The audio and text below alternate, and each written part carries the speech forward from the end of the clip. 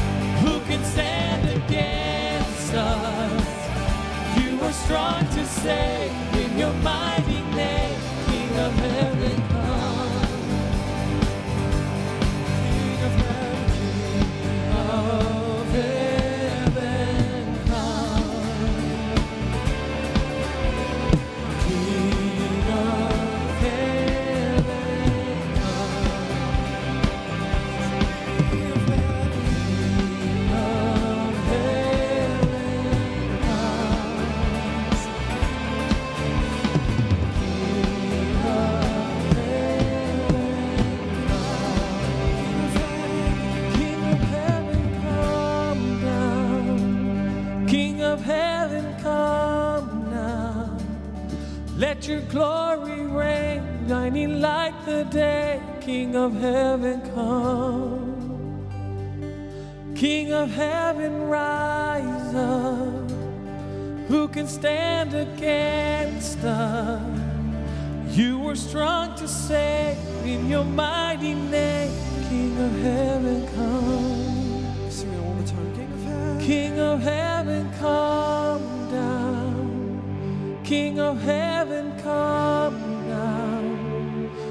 Your glory reign, shining like the day. King of heaven, come.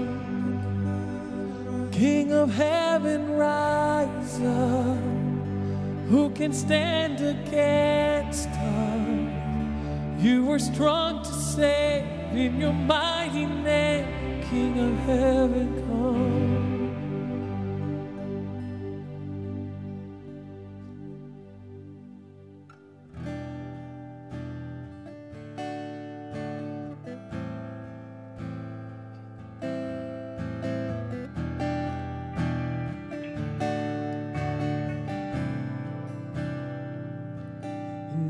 did you know that your baby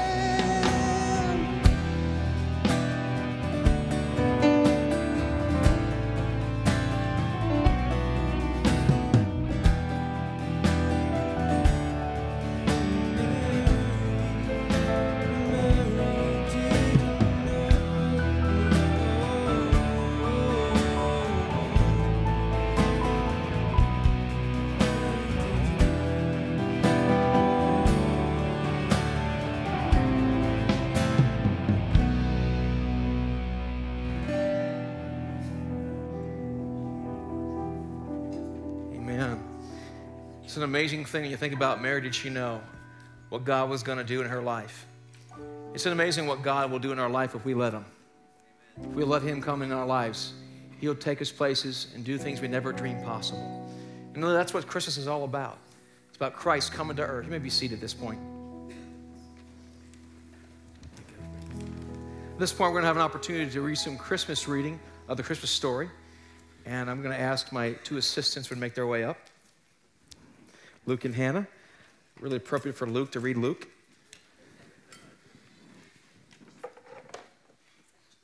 Come on up. Come on, sweetie. Okay. Can you read that? I'll tell you like this. Here we go. For a child is born to us, a son is given to us, and the government will rest on his shoulders. These will be his royal titles Wonderful Counselor, Mighty God, Everlasting Father, Prince of Peace. His ever expanding, peaceful government will never end. He will rule forever with fairness and justice from the throne of his um, Ancestor. ancestor David. The passionate commitment of the Lord Almighty will um, guarantee this. Is that Isaiah 9 6 7. The Lord Himself will choose the son. Look, the virgin will come conceive a child. She will give birth a son and call, will call him Emmanuel. God is with us.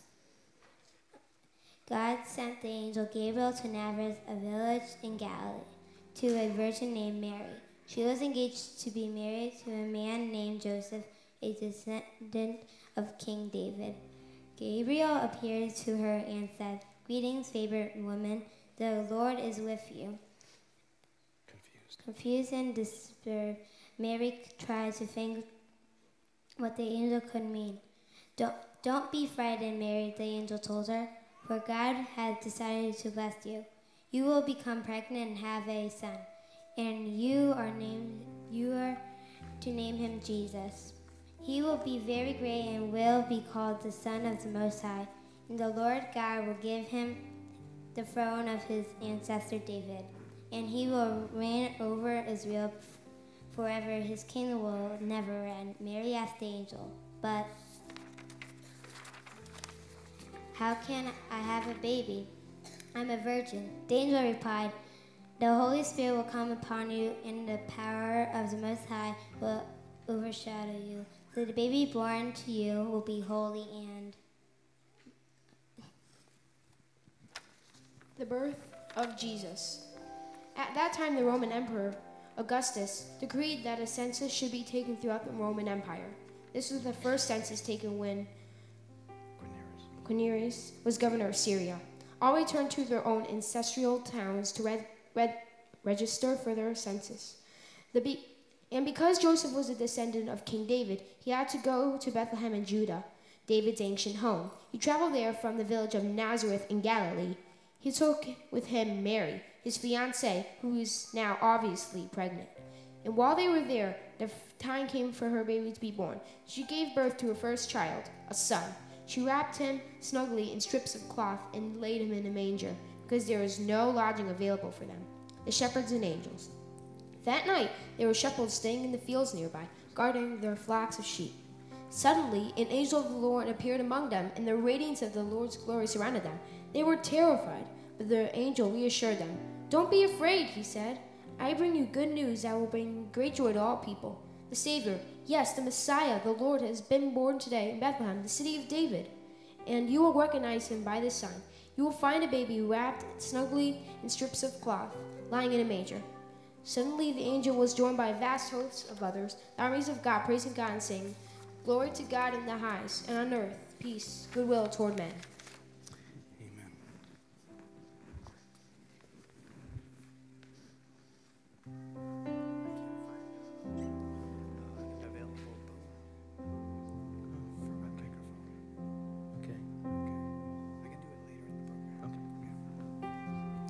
At this time, let's take an opportunity to give back.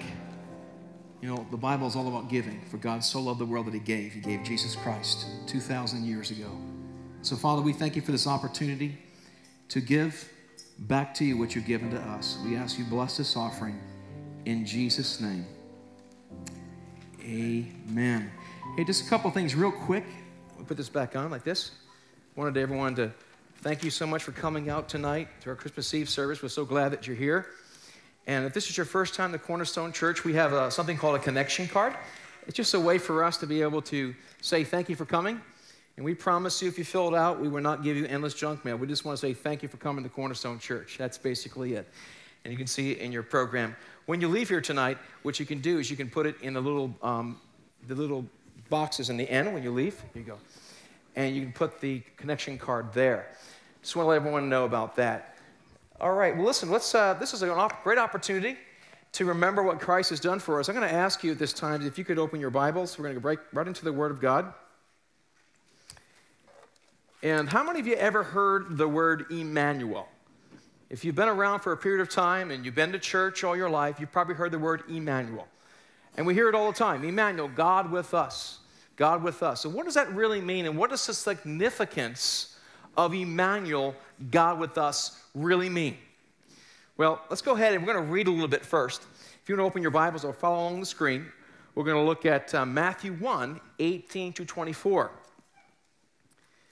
I'll go ahead and start reading. This is how Jesus the Messiah was born.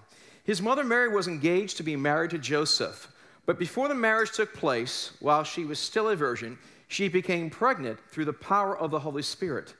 Joseph, her fiance, was a good man and did not want to disgrace her publicly, so he decided to break the engagement quietly. As he considered this, an angel of the Lord appeared to him in a dream, said, Joseph, son of David, the angel said, Do not be afraid to take Mary as your wife, for the child within her was conceived by the Holy Spirit. And she will have a son, and you shall name him Jesus, for he will save his people from their sins. All of this occurred to fulfill the Lord's message through his prophet. Look, the virgin will conceive a child. She will give birth to his son, and they will call him Emmanuel, which means God is with us.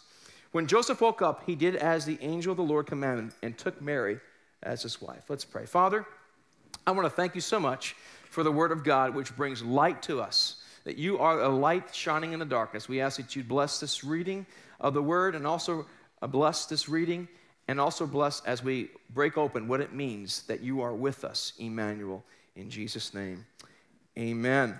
So, uh, you know, sometimes I, I grew up thinking that, what is Emmanuel? God with us. We hear all these things. We tend to take them for granted. But what does it really mean? What's really interesting, the word actually, there's not one English word that does it. It takes three English words God with us. What is that supposed to mean? I'm a science fiction guy. I like science fiction. I'll just confess to you tonight. And I, I find it very fascinating about science and things of that nature. And there's been people believing that there's about fifth dimensions at one time, and now they believe there's 11 dimensions. And people believe that when God created the heavens and the earth, a dimension was lost. And some people think there was about 15 different dimensions, which are different realms of reality that are in the same way. I know it's kind of hard to explain, but uh, really science is, is believing that now. There are different realms of reality that are taking place simultaneously. Very interesting. And what's so interesting is that God created it all. And with all the complexity of the universe, all the complexities of the universe, God created every dimension. And the most amazing thing of all is not only did He create the dimensions, but He created you and I. So He's above it all and yet with us. I like what the, the, the doctor said. Dr. Dr. Ross said this We doctrinally Orthodox Christians potentially underestimate God's nature powers, and capacities by a factor of a trillion in one dimension. He's basically saying we see God in one dimension, but there's so many other dimensions. They think up to 15. It's amazing when you think about it. It blows your mind, the complexities of who we are. Just the complexities of a beetle. You know, there's about 300 different types of beetles alone. Not the Beatle rock band, but different beetles. It's just amazing when you think of all the cells that are in your body, all this incredible um, complexities, and you look at the stars and you see all the galaxies, and yet the Bible says God is with us. And how is that supposed to happen? So there's three basic words God with us. And the first thing is this God is the Almighty One, but He is also Emmanuel. He's mighty, He's powerful, yet He's in the middle of what you and I do. It says in Colossians that the Spirit of Christ holds the universe together. Scientists tell us that in matter, there seems to be some kind of energy or cell or something that kind of holds. There's a component in nature that holds it all together. And we believe that's the Spirit of Christ. In other words, the Bible says he breathed and then came life. There's a Spirit of Christ which brings life and illumination to the whole universe. And some people mistakenly think it's the force or it's a God consciousness. It's, here I go again, my Star Wars thing. I'm sorry. But that people basically think that there's this basic God consciousness. If you can just get a hold of that energy cycle, that's God. No, the energy cycle is not God. God creates life. And so it's not enough just to know His creation, but to know Him personally. And God says that we can know Him. And so it's an amazing thing when you think about it that God with us. God entered space and time 2,000 years ago and decided to leave heaven and come and be around one of us. The Bible says in Galatians 4 4, when the time had fully come, God sent his son, born of a woman, born under the law, to redeem those under the law, that we might receive full rights as son which is so amazing is that Jesus left this dimension of a, a great superiority and being a great creator and decided to enter into our very world and become one of us. And what's so amazing is no one could ever conceive how Christ would become a little helpless baby dependent upon his mother through the nine months pregnancy, dependent upon his parent to survive. Isn't it amazing? Why would God, the creator of all the universe, choose to subject himself to the natural things that you and I face as a baby, made him helpless, made him like a little child who had a nurse, who had a burp, who had to have his baby's clothes changed. An amazing thing what happened 2,000 years ago. And another thing is, which is so amazing, is that Jesus grew up and his parents sometimes questioned his judgment. One time he was in the temple and they're, they're, looking all over for him. Where is Jesus? Where is Jesus? It's like, where is Waldo? You know, in, in the middle of all that going in the Passover, they couldn't find him. And they found him in the temple. And they said, Jesus, we've looked all over for you. He says, Do you not know that I must be about my Father's business? His parents didn't quite understand what this all meant. And what's also amazing is this Jesus got hungry, he got irritated. We see that in Scripture. He, he experienced fear at times. You know that? Jesus experienced fear. The Bible says in the Garden of Gethsemane, it says that he had such great duress that he began to sweat drops like blood. And so science tells us today that's under a, term, under a person with tremendous anxiety. What I find so encouraging about that, despite the anxiety, despite the difficulty Jesus had, he battled through it and did the right thing no matter what. I think that brings encouragement to us to know that Christ was one of us.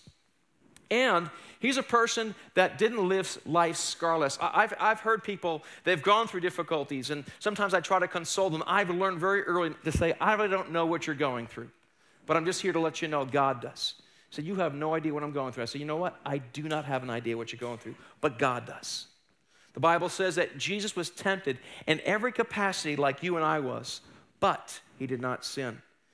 In Philippians 2 6, it says, Jesus made himself nothing. He downsized. From the grandiose of being the great creator, he left God and became one of us to be with us. God put skin on himself through Jesus Christ. He became a touchable, he became approachable. Just think about that. He became nothing, Jesus became nothing so we could become something. Isn't that amazing? I think a lot of us grow up, ever since we're little kids, if all you have to do is watch the nursery, and you can see that everyone in that nursery wants to be somebody.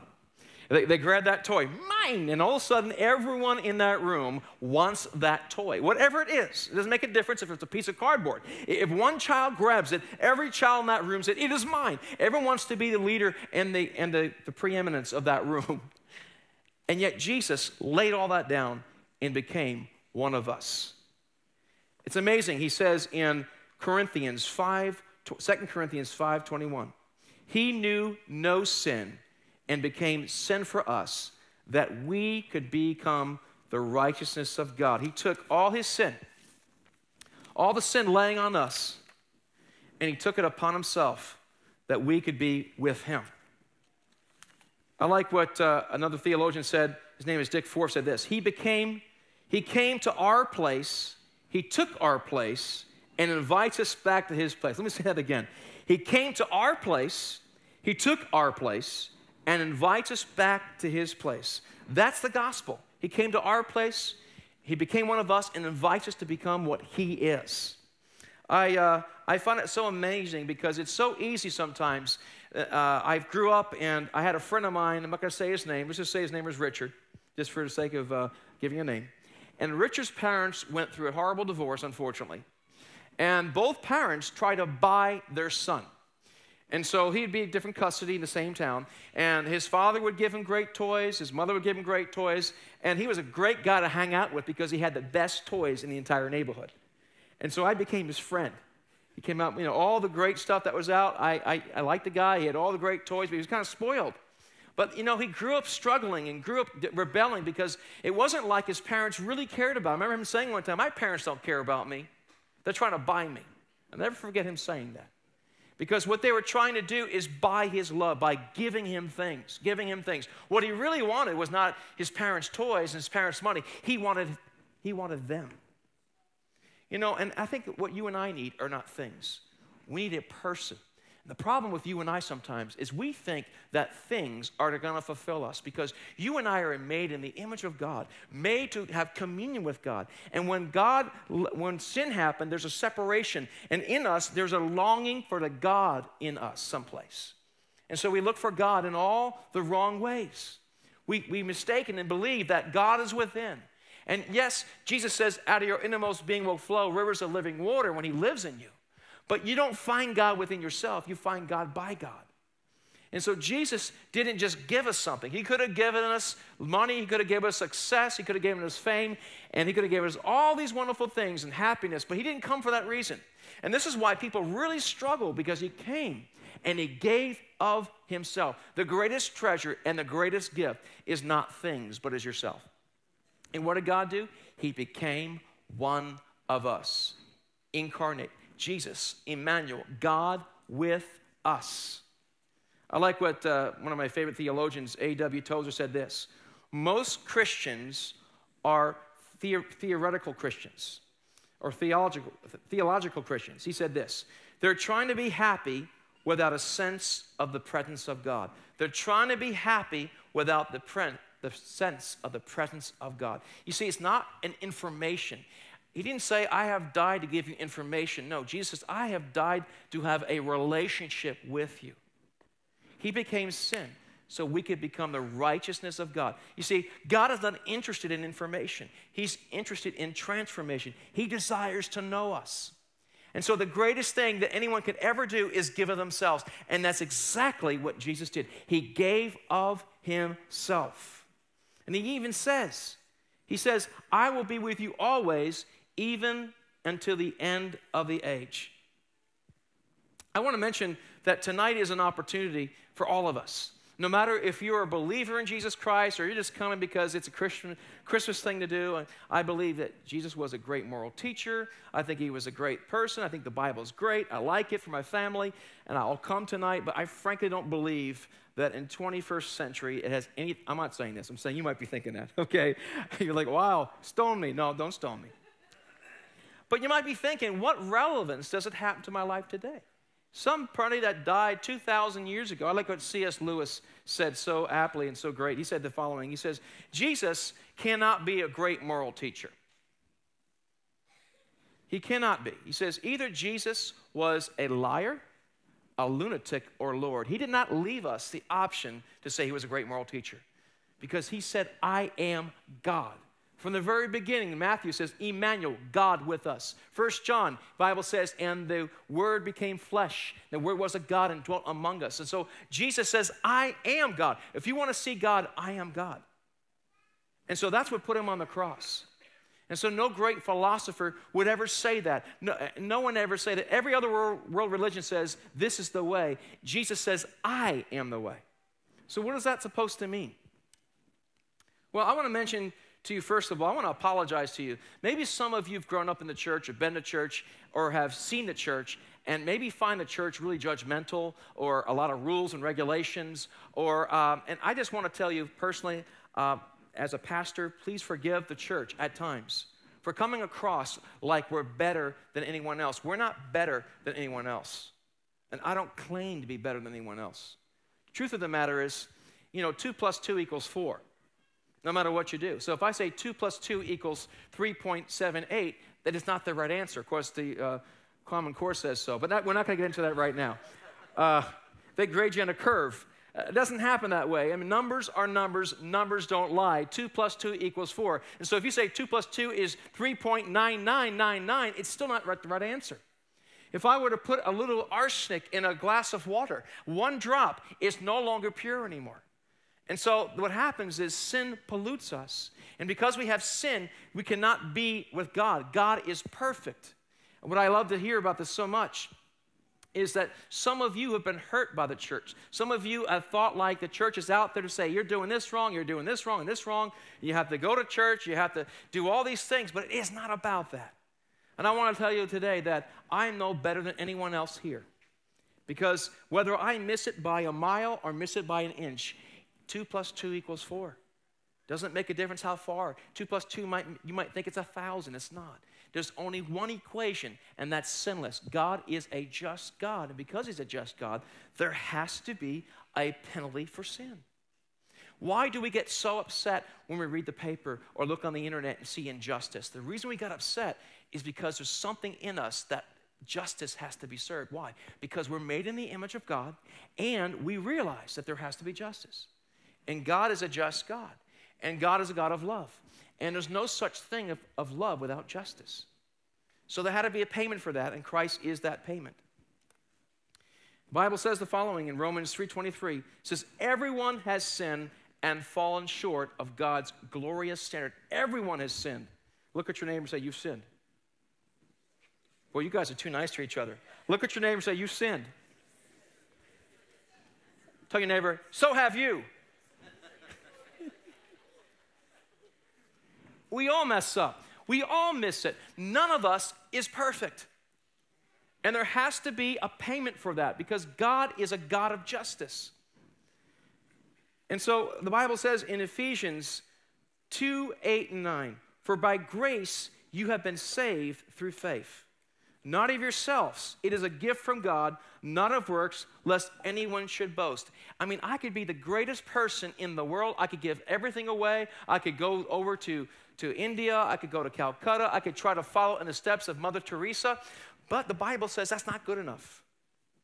And so many of you think, I can never be good enough. I can never do what those church people do. It's too difficult for me. I, frankly, why even try? It's too difficult. And most men, uh, men, we like to succeed. I mean, not just men and women, but men in particular are very competitive. We like to succeed. If we can't succeed at something, it's very, very frustrating. And so if you put this, I got to be this, dress like this, look like this, act like this, talk like this to be a Christian, I can't do it. And I've known people say, let me get my act together first, and then maybe I'll come to Christ. But the Bible says no one is good enough. And that's why Jesus came, because none of us is good enough. And so today, really, there's an invitation this Christmas Eve, an invitation to understand that Christ came to pay for our sins. What's so amazing to me is the fact that Christ came, and what did he come? He went in a barn, he went in a cave, he laid in a manger. And I, uh, probably some of those animals that ate out of that manger were sacrificed, perhaps at the temple. And there he was taking the place of the animals. I wonder if the animals knew that he was the sacrifice to take away. Why would God do such a thing? Why would God kill his own son, Jesus Christ? Because God loves us so much. There is no other way except through Jesus Christ. There's no other way. Why? Because God is a God of justice, and justice has to be served. And instead of putting it upon us, He put it upon Christ. What I find so encouraging, my friends, is listen, Jesus came as a baby on Christmas. He didn't come fully mature. He didn't come for, after 30 years, he began his ministry. And some of you are thinking that you have to get it all together before you give your life to Christ. No, you don't have to have it all together. All you have to do is say, I need Jesus, and let Christ come into your life. Say, Father, I have sinned. I have made mistakes. Christ come into my life. And just as the baby Jesus grew, so Christ will grow in you. All of us, none of us have arrived yet. So you can't be good enough. Isn't that good? Isn't that good? I think that's great news. That's awesome news. You don't have to be good enough. He was good enough for us. And so all we have to do is receive and say, God, I have sinned. I receive your sacrifice for my sins. I receive Christ. Although I'm not there yet, I got a lot of things to work on. I'm going to let you grow in me, Christ. I'm going to let you, I'm going to let myself become more like you progressively. And that's what we need to do, folks. We need to give each other grace. We need to realize that we're all on a journey of grace. Doesn't mean we do whatever we want to do.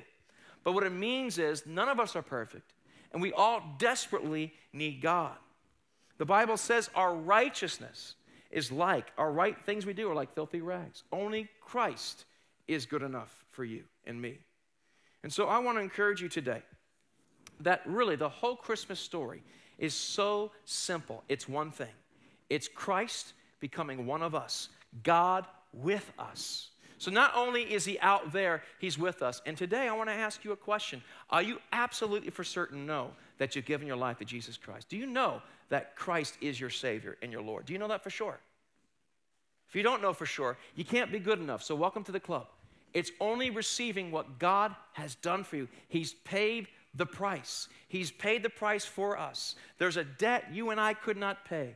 The Bible says when he went on the cross, he said, It is finished which basically means paid in full. How many of you wish today, I wish I had the ability to do this. I could say, I want everyone to come up here right now, and I want you to hand me your mortgage and your car payment, your student loans, and your credit card, credit, uh, your debt. And I will write a check, and everyone out of here tonight can walk away debt free. How many of you, if, if we made that announcement, say, come tomorrow, tomorrow morning at 10 a.m., and I'm going to write a check. I'm going to cancel every single debt that you have. And, and anyone else you want to come, come tomorrow morning at 10, and we're going to do it. And Kip's going to write for you. how, I mean, how many of you, and if, if I had the ability to do it, how many of you would you come? I would come. If I could get rid of all my debt. But that's what Jesus did for us. He took all of our debt. He took all of our sin. He took all of our inadequacies upon himself. He says, paid in full. Take it from me. That's the miracle of Christmas. And so, what I want to encourage you today is this. Number one, if you have never given your life to Christ, don't worry about the church. The church is imperfect. I'm just going to tell you that right ahead. The church is imperfect because it's full of people, but we serve a perfect Savior who loves you. And our objective really is to know Christ, make him known, and help each other become more like Jesus Christ. That's the purpose of this church.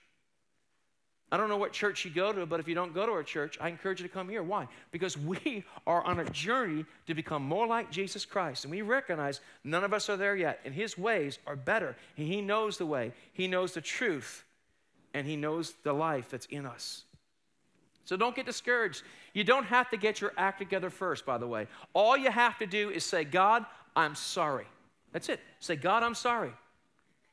I've, I've blown it. For uh, many people, it's very difficult to admit they're wrong. The first thing you have to do is confess your sins, it says in 1 John. Confess your sins. Say, God, I have blown it. The second thing you say is sorry. The second thing you say is forgive me. Say, God, forgive me of all of my sins. And number three, say, God, I give my life to you. I am no longer my own, I am yours.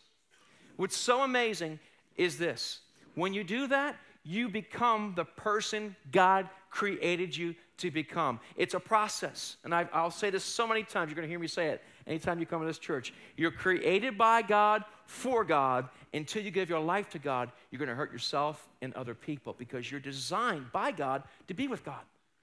And so what happens is, as, I, as you and I submit to become more like God, we become who we're really called to become. The greatest you that can ever be can only be achieved through Jesus Christ Because Christ has made every person in this room, every person in this room has a purpose by God. Every person in this room has a redemptive purpose. The Bible says He wants all everyone to become saved. And so, my friends, that's the miracle of Christmas is Jesus becoming flesh, becoming one of us that he could save us. And it, it just, it just it boggles the mind. I mean, can you imagine? I, I have children, as you know, and, and I imagine that you have a little ant farm, and in that ant farm, you see they're having, they're fighting each other, and you're like, gee, I wish I could go there and help them. And if you had the ability to become an ant, and, and become, go on that ant farm and, and try to be one of them to save them. That's what Christ has done for us. It's just, it just amazing. Try to ask an ant to describe our material world. Can't happen. That's the vastness and the splendor and the glory of God is so beyond us. But God loves us so much that He gave Christ for us. And so I want to encourage you tonight for two things basically. If you've never given your life to Jesus Christ, tonight can be your best Christmas ever. But like any other gift, He will not force Himself upon you. It's something you have to take. And so, if I were to offer you a $100 bill, and I say, here's a $100 bill I'm going to give you to tonight, I could put it right here. Come up and get it. Now, the reason I don't have one, because I don't be, I don't be mobbed. But until you come up and take it and make it yours. If I were to write you a check, and let's suppose I had the ability to write you a check for a million dollars to pay all your debt, and you said, you know, and let's suppose I am someone really wealthy. Suppose I'm Donald Trump, but I had better hair, okay? Imagine I'm Donald Trump. And I, I say to you, I'm going to write you a check for a million dollars. You say, yeah, he's definitely Donald Trump. I believe that he's rich and all that. And you get the check, you put it in your pocket, you go around saying, oh, yeah, you believe in, oh, yeah, I believe in Donald Trump. I, I believe he has got money. I got the check right here for a million dollars. I'm going to keep it right here. You can walk around for the rest of your life with that check in your pocket, but until you take the check out, until you endorse the back of the check and say, I am putting my trust in this check, until you go to the teller at the bank and put it on the counter and say, Here, I am endorsing this, until you hand it in, it's not yours. And so just to believe in Jesus is not good enough. And you can't be good enough. It's a matter of receiving a gift, a gift of Christ. Receiving it, taking it, putting your trust in it, and then it's yours. It's that simple. So I'm going to pray a prayer right now. If you want to pray it in the quietness of your heart, I'm going to ask if Esteban can make his way up. We're going to pray a prayer right now. Father, I want to thank you for dying on the cross for us.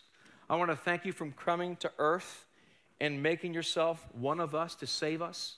Lord, I want to thank you that you are an amazing God, that while we were yet sinners, you died for us. Father, I want to thank you that you didn't wait for us. You came to us when we weren't even looking for you. And so, Lord, we thank you for that today. God, the first thing we say today is we're sorry. We're sorry for our sins. Lord, I ask that you would forgive us of our sins right now. Go ahead and ask the Lord to forgive you of all your sins, both known and unknown. Father, I ask you to forgive me. I also ask that you would fill me with your forgiveness and your healing right now. I choose to believe you are the Son of God and that you've paid the price for my sins. Now, today, I put my trust in you. I put my faith in you. Fill me now and give me the grace and give me the power and the ability to walk the path you have for me in Jesus' name. I receive you, Lord. Amen. I want to pray for the rest of you as well. That, how about, I don't know how you are. We talked uh, recently about a photo bombs in our lives and things go wrong. And if you're like me, there's some areas of your life you'd like to see a lot more progress in. I got news for you. God loves you even despite your mistakes. But what He's asking us to do is to surrender our lives to Him daily and say, Father, I'm sorry. Every single day, you have to go before God and say, sorry, I'm sorry I missed it. I want to become more like you. And let God transform you. Let the Christ child grow in you. Some of us have been in church for a long period of time. But the Bible says so many of you by now should be off milk and onto solid food, but many of you aren't. And some of you are okay, you accepted Christ as that baby. But in a spiritual sense, you're still a little baby inside. And you haven't let Christ mature in your life. I want to let you know that God wants to mature in you not so he can bore you, because he can make you the person that you're called to become. And I want to encourage you. Our church is going to be having a prayer and fasting in January. We're going to encourage you every single day to get before God. If you don't have a Bible, we have some Bibles at, in front. Start a New Testament. Just take 10 minutes, 15 minutes a day. It's like eating. A baby does not grow unless you feed it. And so I want to encourage you to, to dedicate yourself, just to begin to read the Word of God and say, God, open my heart. And just start in the New Testament, wherever. Just start reading about 10 minutes a day and ask God to open your eyes to it. And you watch what's going to happen. All of a sudden, that baby Jesus inside is going to become a toddler. And that toddler will become a teenager. And that teenager will become a man until you can grow up to be a strong woman or man of God. And that's the promise that we have of Christmas. It's not just salvation, it's the fact that you and I can become more like Him. He loves us, but He's got so much more for us. He wants us to go on to higher and greater things. How many of you want to have a life that's worth living? How many of you want to be able to one day when you it's your last dying breath, you say, I have finished a race. I've done what God has asked me to do. Everyone in this room, everyone can be an incredible success if you embrace Christ and say, God, uh, I'm opening my heart right on my heart, and let me be the person you created me to become. And let yourself grow from a baby Christian to mature in Christ. And for us, us, for the rest of us, maybe they're a little more mature than other people, we need to be patient with each other. We need to, like you do with children, you got to bring discipline. But you do it in love, and you always do it in correction that builds that child up. And that's why we have a community of believers that meet together. We love each other, and we believe in each other that Christ can make us what we've called us to become. So, Christmas is not just about accepting Christ's child, but it's also becoming a person that grows in Christ. And I pray this year, this next year, 2015, that when we go back to Christmas, that you will grow so much more than you have already because you've embraced the Christ child. You've nurtured Christ in you. And like Mary, who let Christ grow in her, may you let Christ grow in you to become the person that God has created you to become. Can we do that together? Can we encourage each other? Can we see and help each other become the great men and women of God that we're called to become? I'm going to just pray one more prayer, and we're going to sing a song. Father, I want to thank you so much that you've created us for you. And God, I just pray right now for, for we just pray for those that give their lives to you, but I pray for those of us in this room that have never matured past the toddler stage or the baby stage. Father, we've starved you by not eating of your word and drinking of your and drinking by praying and we're not in fellowship father we pray we thank you you love us just the way we are, but you have so much more for us. And Father, I just pray in Jesus' name that you would put a hunger for your word and for your fellowship and for your grace upon us today. Father, that we would see the Christ child grow in us and that we become mature in every way. In Jesus' name. Amen. I don't know about you, but I, I when I read the paper and, or uh, read the news and I see what's going on in the world today, Sometimes it's overwhelming. God, what can I possibly do to make a difference?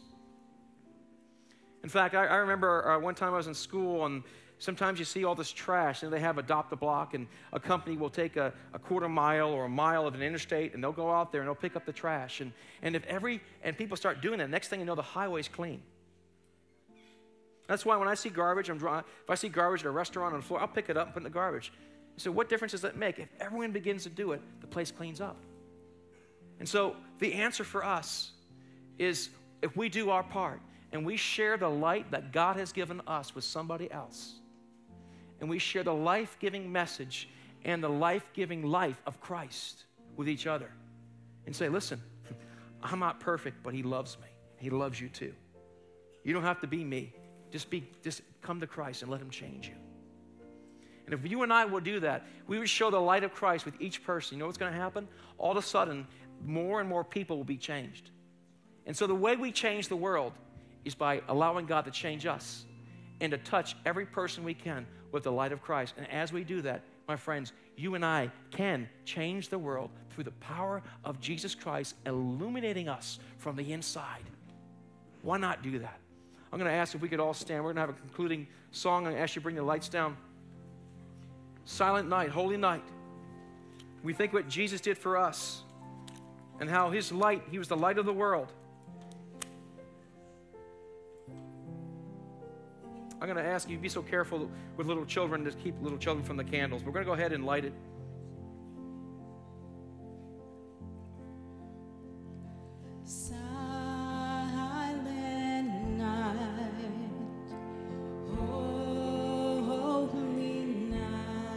Bible says, You are the light of the world.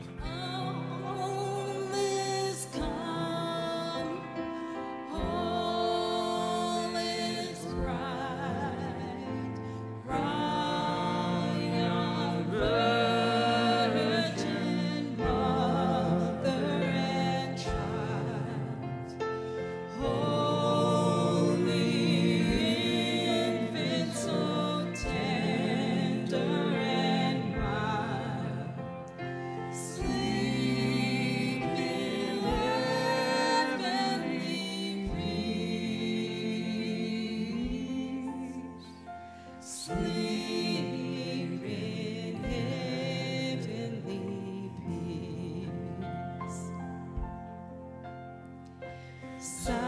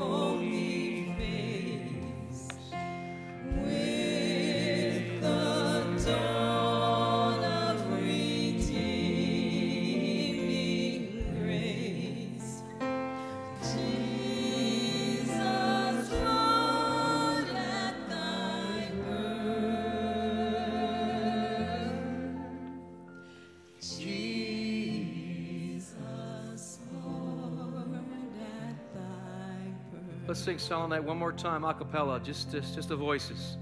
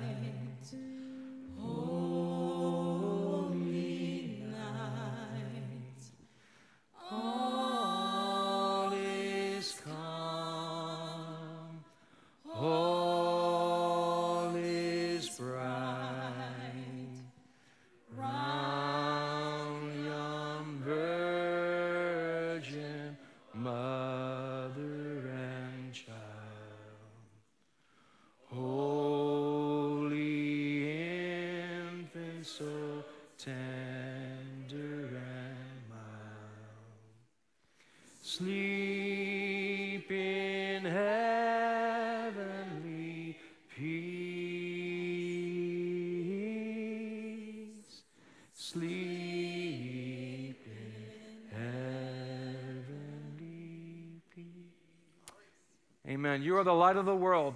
Let your light shine before men that they would know that you are His in Jesus' name. Merry Christmas, everybody. God bless you. If you could extinguish your candles and, and give them to the ushers as you leave the baskets, we'd appreciate it. Thank you so much. Merry Christmas.